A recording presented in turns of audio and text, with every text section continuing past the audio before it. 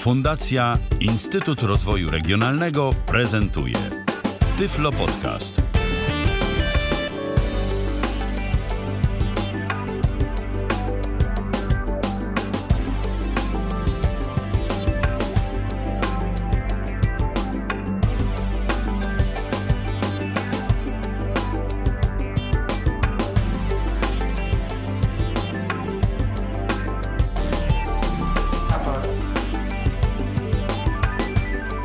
Kalendarzu dziś mamy czwartek, to jest piąty dzień maja. Rozpoczynamy kolejne spotkanie na antenie Tyfloradia. Michał Dziwisz, witam bardzo serdecznie. No i zapraszam. Dziś e, sam jestem w naszym radiowym studio i mówić będę o urządzeniu, e, z którego korzystam no chyba najczęściej. Mówiąc do Was, e, prowadząc różnego rodzaju audycje, no i mm, to jest urządzenie, które wykorzystuję w swojej codziennej pracy, czy to mm, właśnie mm, prowadząc audycję na antenie Tyfloradia, czy nagrywając y, jakieś różne rzeczy, czy też y, chociażby jakieś inne różnego rodzaju audycje prowadząc. To jest mikrofon, mikrofon, y, można powiedzieć mikrofon legenda. Gdzie byśmy nie trafili do jakiejś niewielkiej mm, stacji radiowej, to tam na pewno na stanowisku prezentera, a także i często na stanowisku gości zobaczymy właśnie takie mikrofony. Mikrofony firmy Shure, y, które nawet y, swego czasu mm, miały okazję zaistnieć w muzyce, bo właśnie z tego co kiedyś wyczytałem, to Michael Jackson na poprzedniku mikrofonu, do którego do Was w tym momencie mówię, y, nagrał swoją płytę Thriller. To była płyta w latach 80. nagrywana i wtedy jeszcze nie było modelu SM7B, był wtedy model SM7 bez tej literki B. SM7B pojawił się później, jest to udoskonalony model model, y, model mikrofonu Shure SM7, który jest y, mniej y, podatny na różnego rodzaju zakłócenia elektromagnetyczne. Mówię tu o mikrofonie, który stworzony jest tak naprawdę dla radiowców. oczywiście zdaję sobie doskonale sprawę z tego, że wszyscy, którzy zajmują się dźwiękiem, zaraz powiedzą, że przecież na różnych innych mikrofonach można uzyskać tak naprawdę y, podobny efekt, podobne brzmienie y, i podobną jakość, tylko y, ten mikrofon ma jedną zasadniczą cechę, o której powiem za chwileczkę, która moim zdaniem sprawia, że jest to po prostu bardzo, ale to bardzo wygodne urządzenie. Jeżeli ktoś będzie miał jakieś pytania odnośnie prezentowanego dziś sprzętu, to ja bardzo serdecznie zapraszam. 123 834 835 to jest nasz e, numer telefonu, a tyflopodcast.net to jest nasz radiowy Skype i już właśnie w tym momencie ten e, radiowy Skype jest do waszej dyspozycji, więc bardzo serdecznie zapraszam. A teraz po kolei. Co to właściwie jest ten y, Shure SM7B? To jest mikrofon dynamiczny. Mikrofon dynamiczny, czyli teoretycznie taki, który działać będzie bez y, jakiegoś dodatkowego zasilania, bo dodatkowe zasilanie, jak pamiętacie chociażby z audycji, y, w których y, rozmawialiśmy o mikrofonach z Tomkiem Bileckim, charakteryzuje mikrofony pojemnościowe.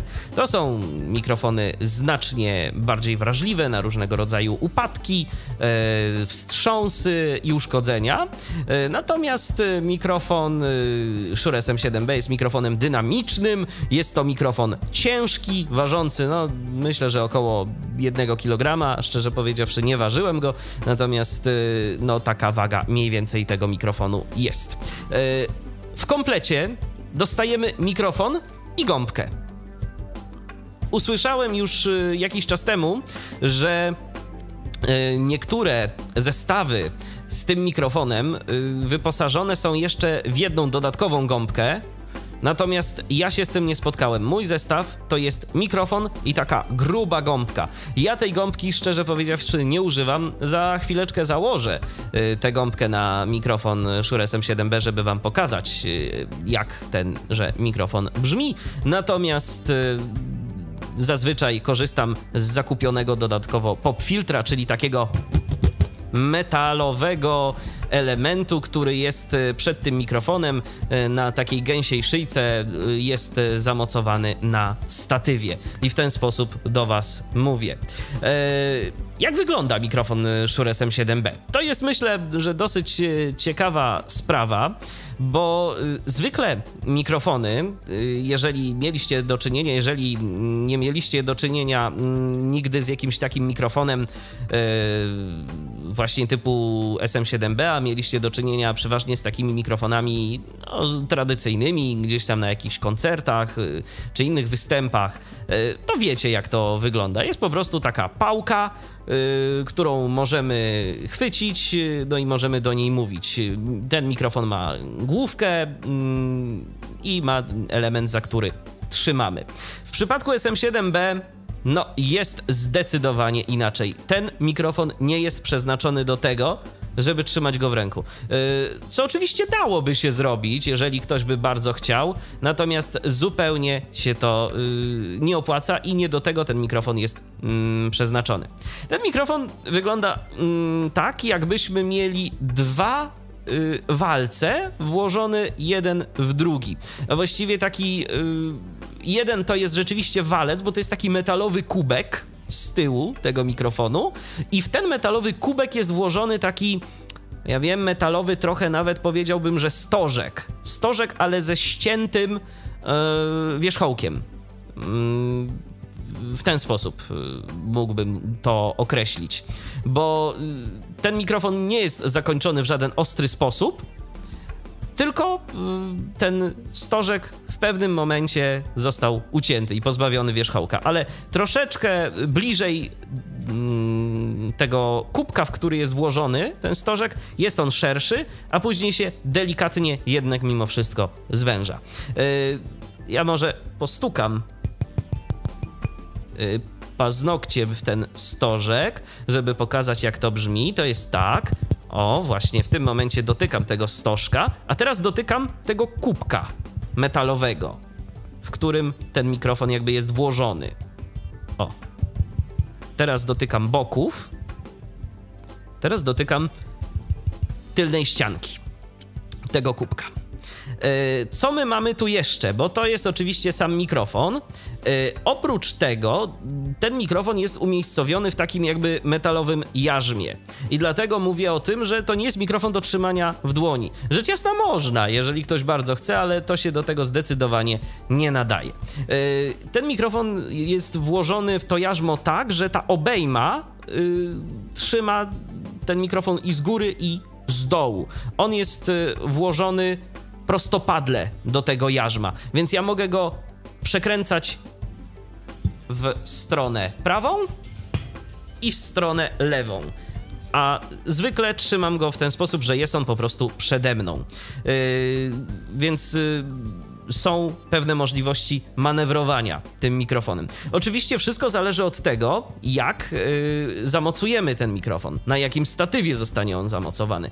Akurat w moim przypadku wygląda to tak, że zamocowany jest na takim statywie, który jest jakby do mnie bokiem zwrócony. Yy, bo jeżeli byłby to taki standardowy yy, stołowy statyw, no to oczywiście w takim przypadku y, działa to nieco inaczej i ten mikrofon możemy y, przekręcać y, przesuwać go z góry mm, do góry i do dołu. Bo kiedyś e, próbowałem. E, to jarzmo ma taki mm, gwintowany wkręt, za pomocą którego możemy przykręcić ten właśnie mikrofon do statywu. Ja teraz nie pamiętam średnicy tego wkrętu, wiem, że są y, dwa, y, dwie średnice tych, y, tych wkrętów, natomiast no nie pamiętam niestety jaki to jest, jaki wkręt jest tej średnicy. Tu już trzeba by było po prostu to dokładnie zmierzyć i mm, no i się dowiedzieć jeżeli będziecie zainteresowani zakupem tego mikrofonu. Oprócz tego w tym mikrofonie mamy taki cienki kabelek. To jest y, kabelek, który wychodzi z tego mikrofonu, z tego metalowego kubka do y, końcówki tego metalowego jarzma. Jest, y, bo to jarzmo to jest taki, jest raz, że jest ten uchwyt, a później mamy jeszcze ten wkręt i mamy jeszcze do tego gniazdo XLR. Z mikrofonem nie otrzymujemy kabla. To od razu mówię. I ponoć jest to rzeczywiście reguła, że nie dostajemy z mikrofonami kabli. Więc pozostaje mi się z tym tylko i wyłącznie zgodzić, że tak jest faktycznie. E, może to i dobrze, może nie, ale zazwyczaj, no jeżeli ktoś już kupuje sprzęt tego typu, to ma także w zaopatrzeniu swoim jakieś tam kable. Tak wygląda budowa tego mikrofonu. E, jak sami widzicie, przede wszystkim do zastosowań stacjonarnych. To jest mikrofon do tego, żeby zamocować go na statywie, no i nic z nim zasadniczo nie robić. To nie jest mikrofon, który raczej będziemy gdzieś tam chcieli przenosić. Chociaż no można, jak się ktoś uprze. I teraz y, rzecz y, mniej przyjemna y, co do tego mikrofonu. To jest mikrofon dynamiczny i potrzebuje wzmocnienia, solidnego wzmocnienia. Żeby z tym mikrofonem nam się dobrze pracowało, musimy mieć mikser z dobrym przedwzmacniaczem. Ja y, mam y, Yamaha MG166, z takiego miksera korzystam i niestety, proszę Państwa, ten przedwzmacniacz no, nie działał tak, jak y, bym sobie tego życzył. W związku z czym ja jeszcze do tego mikrofonu dokupiłem sobie urządzenie, którego efekt w tym momencie słyszycie, czyli to jest DBX 286S. Cóż to takiego jest? To jest przedwzmacniacz mikrofonowy będący jednocześnie kompresorem, bramką, y, deserem, czyli takim urządzeniem do y, pozbywania się różnego rodzaju głosek syczących. No i jeszcze on tam ma mm, możliwość podbijania wysokich i niskich częstotliwości. Urządzenie całkiem dostępne i podejrzewam, że kiedyś też na jego temat co nieco opowiem. Ja teraz pokażę myślę, przynajmniej na chwileczkę, wyłączę kompresor z naszej sumy. O, teraz jesteśmy już bez kompresji. I teraz wyłączę y, kompresję jeszcze y, na mikrofonie, żeby pokazać, jak to właściwie brzmi. Jak brzmi ten SM7B bez kompresora. Proszę Państwa, i tak właśnie to brzmi. To jest suchy sygnał z mikrofonu Shure SM7B. Ja może jeszcze wyciszę ten y, podkład, y, żeby nie wprowadzać jakichś dodatkowych y, zniekształceń. Jeszcze sprawdzę jedną rzecz, czy mam. O, jeszcze miałem tam włączony, jeszcze miałem tam włączony filtr.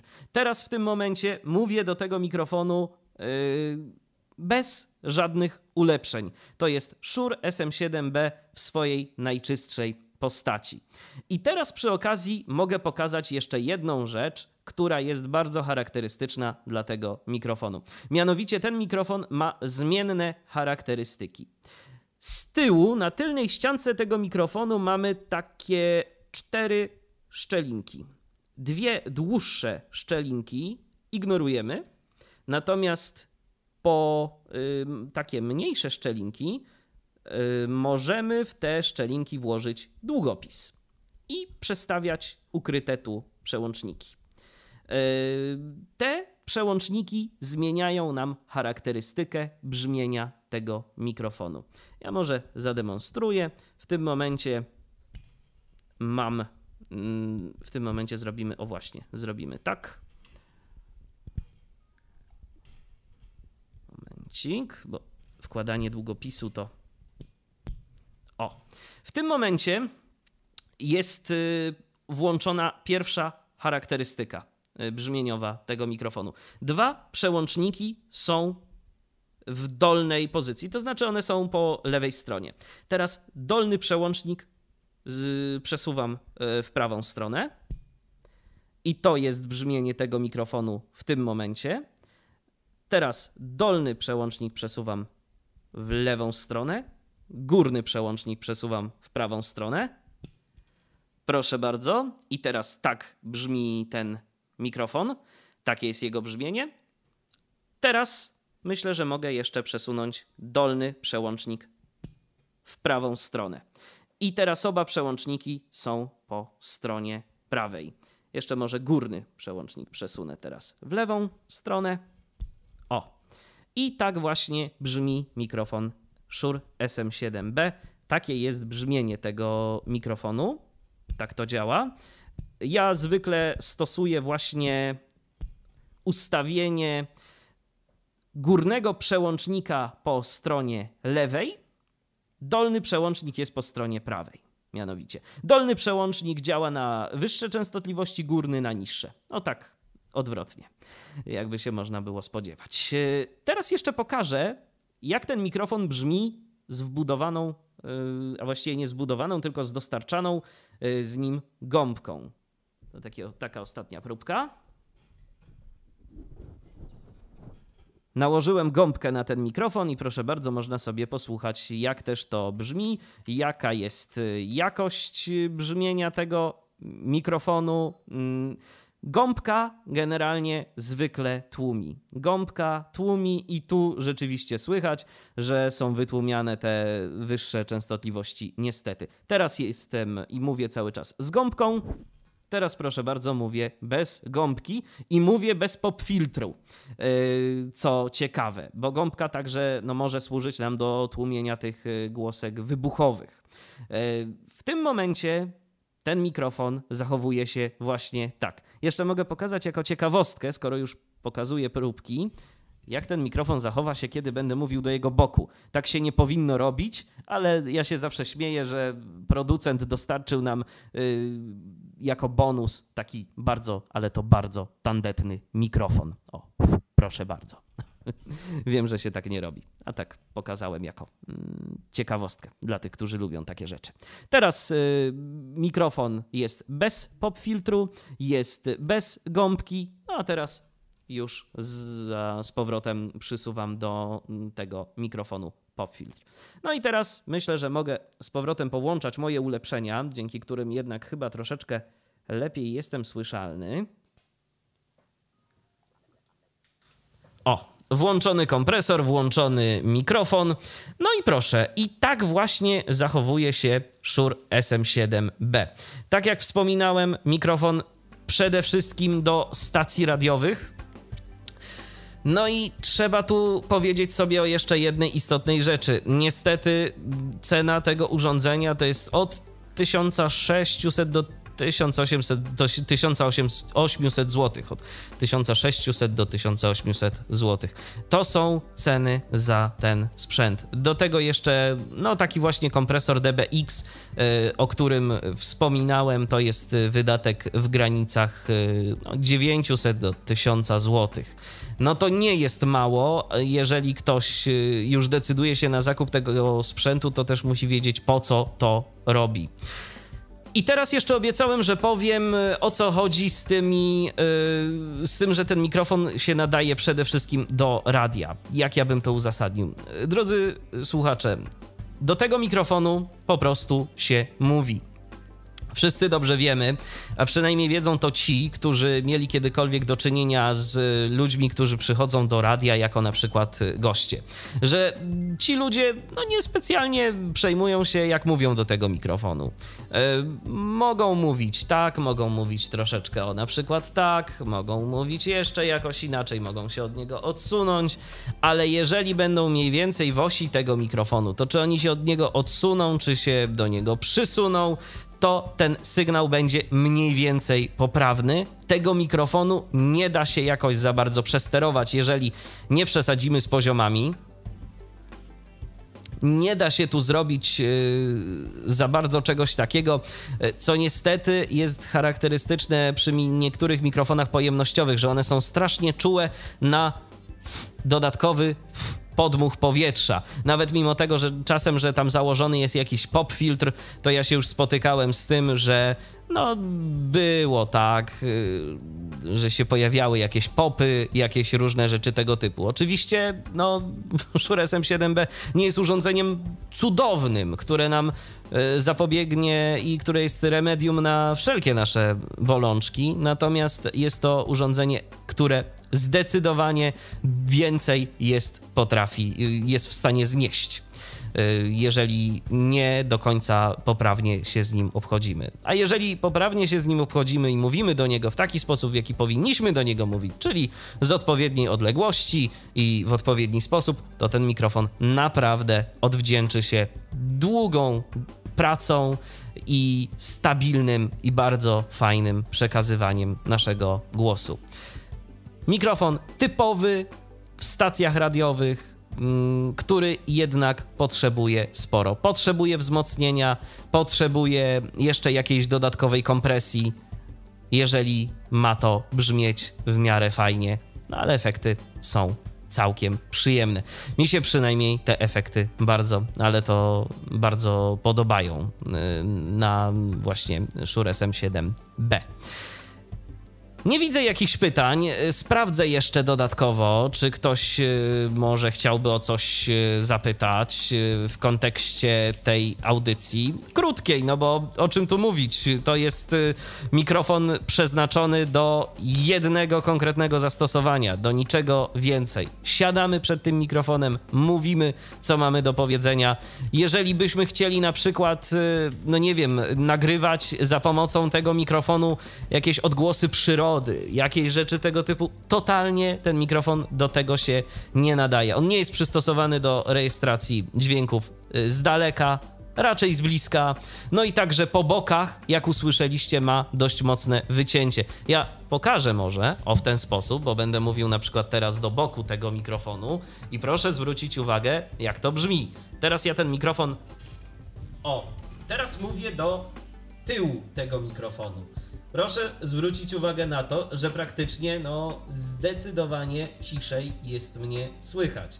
Nic nie jest rejestrowane w zasadzie. No mówię blisko, więc zrozumieć się da to, co mówię, ale no, w porównaniu z tym, co będzie teraz, to myślę, że różnicę słychać zauważalną. Czy ja coś jeszcze tu mogę pokazać? Myślę, że nie. Myślę, że wyczerpałem temat mikrofonu Shure SM7B. Pytań nie widzę. Jeżeli ktoś miałby jakieś pytania, to ja zachęcam do ich zadawania później w komentarzu e, pod tą audycją, kiedy ukaże się w serwisie tyflopodcast.net. A na dziś bardzo serdecznie dziękuję. Michał Dziwisz, kłaniam się. Do usłyszenia. Do następnego razu na antenie Tyfloradia. No, także z Szura SM7B. Cześć. Był to Tyflo Podcast. Pierwszy polski podcast dla niewidomych i słabowidzących.